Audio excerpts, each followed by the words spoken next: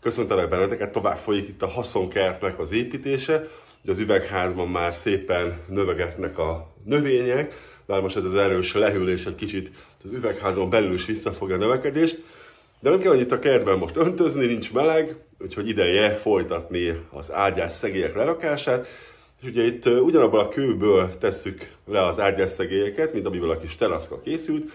Ugye ez SV-nek a mádi köve, és ilyen jó teraszburkolatnak is, jó járó felületnek is, de tökéletesen megmaradtakat ágyás szegélynek lerakni, vagy érdemes egy kicsit többet rendelni, és abból elkészíteni az ágyás szegélyt, hiszen ez nagyon jól illik majd ehhez a burkolathoz, megismétlődik a szín és a forma világa az ágyásoknál, azért nagyon jó harmóniát ad majd a kertben, úgyhogy most ezt csináljuk, ezt mutatom majd meg nektek. Ugye itt van a terasz, itt a haszonkert, mutatom innen, ugye itt vagyok benne az üvegházban, és itt van ez a szép kis terasz, innen gyönyörű kilátás van a falura, és ezt itt mindenképpen burkolni szerettem volna, hiszen most is elég nagy eső volt, és elég nagyon nagy sár van, tehát hogy ezt így lehessen száraz lábbal is használni, és ugyanebből a mádi kőből Penny már gyönyörűen itt lerakta az ágyás szegélyeket. Ugye ezt jelent az ágyás szegély, hogy itt majd a virágos rétet, amit mutattam hát nem is tudom, amikor egy jó tíz napja, két hete, akkor vetettem, most nagyon szépen kihajtott, de ezt választja el itt a kavicsos úttól. Itt majd az egész be lesz kavicsozva, itt pedig egy szép nagy fűszerkert lesz majd, tehát erre való az ágyásszegély, hogy elválassza a funkciós területeket. Mi soha nem tesszük betonba, csak szárazon a talajba bele rakosgatjuk élére állítva, gumikalapáccsal be kalapálgatva, és majd az időjárás, és itt a mellette lévő gyökerek is körbeszölik, meg itt a kavics is beáll úgy, mintha betonozva lenne, de én nem szeretem a betont a kertbe.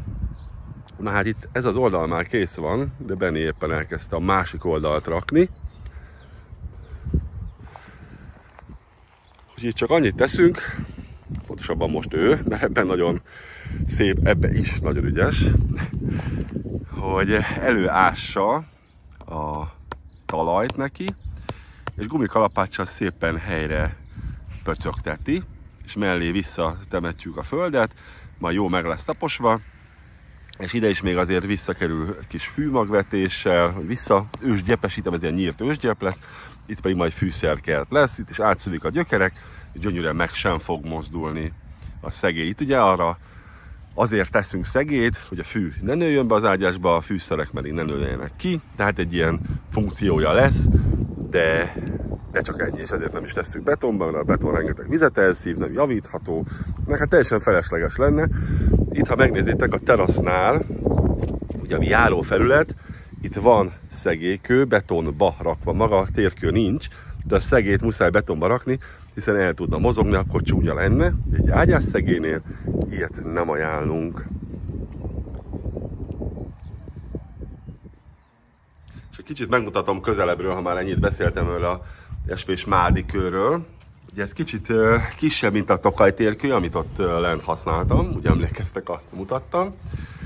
De ez is ilyen antikolt, olyan, mintha egy régi, ilyen öregített kő lenne, de beton és van festett, tehát ez nem fog szétfagyni, nem fog fölfagyni év tizedekig, vagy hát szinte örökre itt tud maradni szépen, nagyon könnyű takarítani, és most ugye összesarasztuk, csak így slaggal lemostam róla, tehát kiválóan könnyen takarítható, és nagyon természetes, szerintem nagyon illik az ilyen természetbe illesztett kertekkel, de akár egy modern kertbe is el tudom képzelni.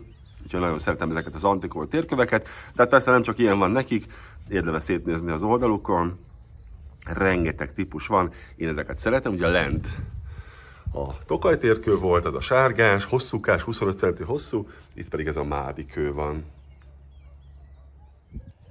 Szépen halad az ív, persze a végén még át szoktuk kopácsolni egy kicsit, helyreigazgatni, megtaposni, Egyébként egyszer-kétszer előfordul nagy eső után, elmozoghat, vagy valaki rálép, elmozoghat, de gumikalapáccsal helyre lehet kopácsolni, és tényleg egy-két hónapon belül annyira beáll, hogy meg sem mozdul. Úgyhogy ezt ajánljuk kőnek betenni. Ugye ez hivatalosan nem kő, ez meg a térkő élére állítva. Tehát ez a térkő, amit terasznak használunk, vagy terasz burkolatnak, vagy autóbálónak, ebből van elkészítve az ágyás szegély.